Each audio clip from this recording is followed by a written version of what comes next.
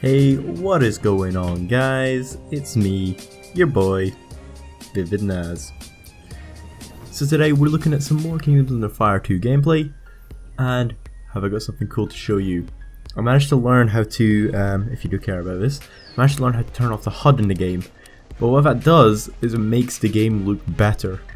I really don't know how, but it makes the game look better, in turn making it run like utter shit. So that was just me kind of toggle it on and off, and you see it throughout the whole video.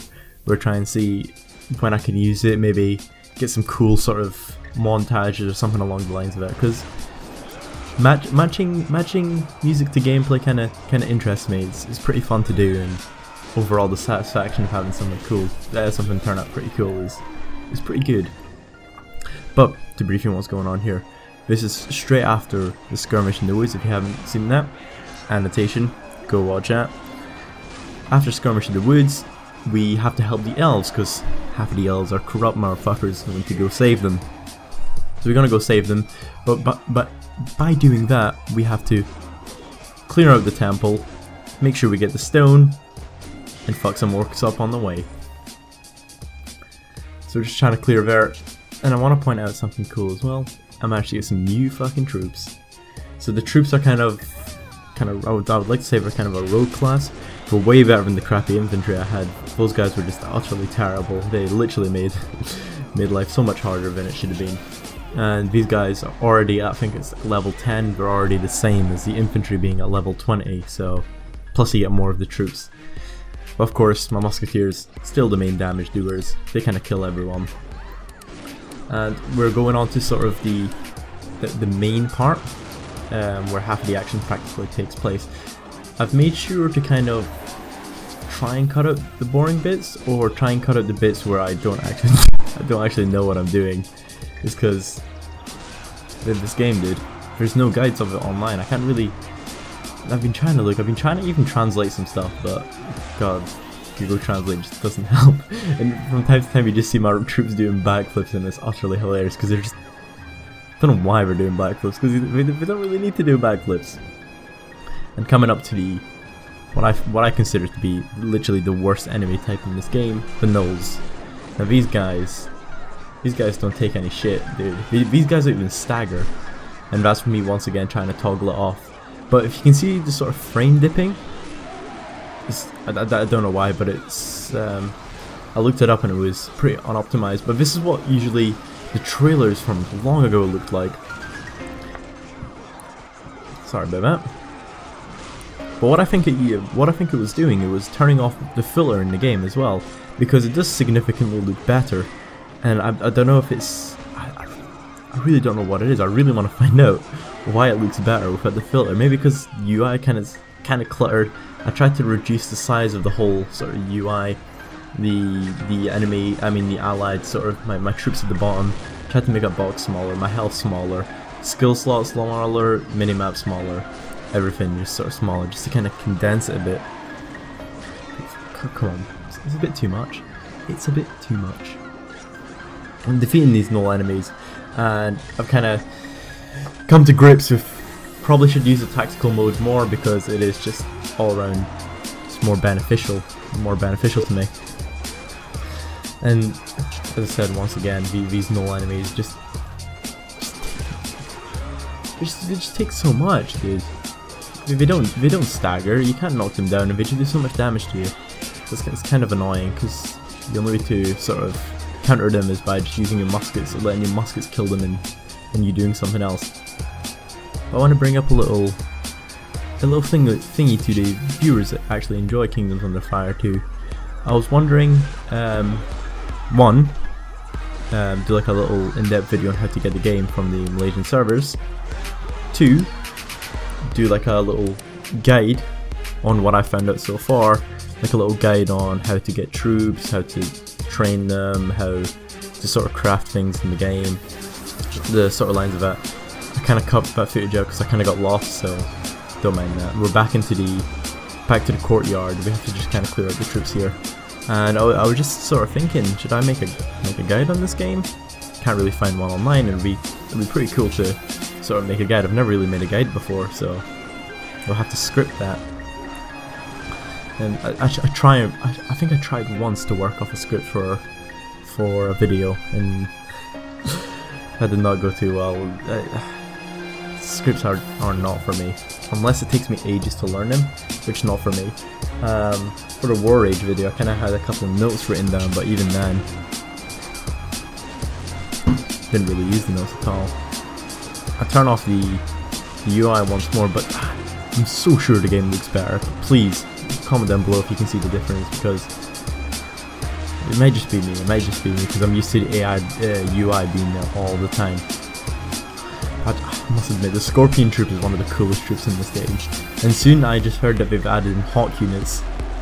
So you've got units that ride, that ride Hawks. What does this game come to? But I'm only level 17, haven't hit max level. Don't even know what max level is actually. Hopefully we'll we'll try and sort of power play through this game because I'm really enjoying it at the moment.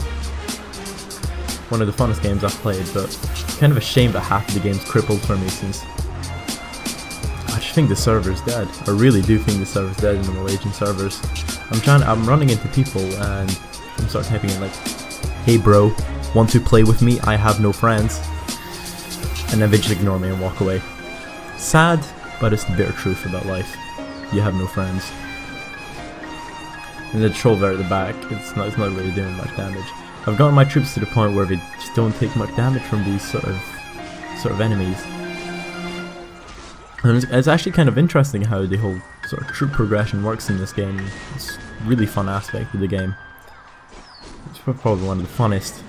And then I probably encounter in this mission one of the biggest battles I've run into in this game. it was, oh, I, think I was kind of playing in the whole little mini montage of what's coming up, little preview of the video, as I like to call it. I'm sorry, I've, I've lost the plot. I've completely lost the plot. I don't even know what I'm doing. But this guy, you might have seen him in one of my earlier videos if you do actually follow the videos. But just look how awesome this part is. I just run in, use my number 2 ability and just crush as many people as possible. And it is so satisfying, just seeing random numbers pop up, not having enough time to even read those numbers because who even gives a shit. But yeah, slashing and dashing, destroying and... I can't think of anything that rhymes with destroying. But I'm just concentrating on the main bulk of the force at the moment, and I'll probably move on to no leader, but it's, it's, pretty late on, so don't give me credits on that one. And then, big mistake here is I didn't actually aim for the Scorpions, which are doing this massive AoE. And just look at that, look how awesome that is. What game lets you do this, dude? It's such a shame. Come to the EU, boy. Come to EU. And I hope I can do some type of server transfer, because I would hate to to let all this go to waste. Because I think it is kind of confirmed that it is coming in 2016 and I, I, don't know, it's kind of rough around the edges. I don't know how people will take to it being kind of rough around the edges. I can handle it because you know I've been waiting for this game for like five years, so I don't, I don't really care. I, am just I'm just enjoying what I'm getting. Clearing the forces down, we managed to uh, recruit the shaman priests. They're part of my posse now. I hope I get to keep them forever. I'm not sure because of kind of high upkeep cost Kind of keeps me away from them. There we go, you can just see my musketeers at the back just tearing through units. Every time they take a shot, you hear one of the! Enemy destroyed. But they're just pinging them down. And now I'm just concentrating on the leader. This guy, see that AoE, he literally took out 40 people doing that. and you can just see my troops doing random backflips. but yeah. I'm sorry, I'm just watching this and I'm just seeing them doing random black backflips and it's just, it's, it's entertaining to watch because they're not dodging anything. they're just doing it for effect and I tried to attack the scorpion by myself and just kind of gave up. There is no point, let, let my troops do that work. And I thought I was being being a little bit smart here. I was like, oh, we're, we're, we're taking archer fire, I better go, better go take them out myself. Go up to take them out and then I just I just attack and now I'm like, I'm doing no damage to these guys. Now all of a sudden, they all die and I realize my musketeers are just taking shots at everyone that I fight against. So I'm like, well, thanks for the support, but, you know, you're making me look bad here. Meant to be your leader. Moving up to the second lot here, same thing happens again. Did you get utterly wiped? Actually, no, I make sure that my um, musketeers are out of combat, because you can see at the bottom they're in melee range at the moment, and they're getting destroyed by them. But I let, once you're in this like tactical view, your character is being just sort of automated. And I could not open that chest for some reason. Now, it's only, it is only the one scorpion left.